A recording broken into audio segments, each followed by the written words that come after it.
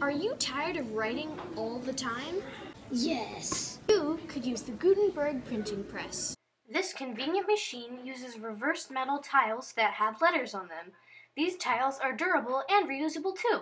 Arrange your letters into a page of text and then coat them with ink and press.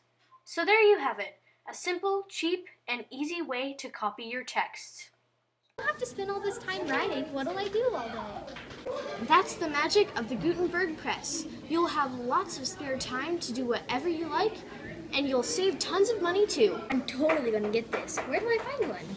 You'll find the Gutenberg press in a printing shop near you.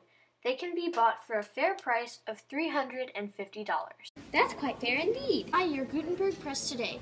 If you come to your local store within the next week, you'll get a free set of metal tiles to start working with. That's an $150 value for absolutely free. So what are you waiting for?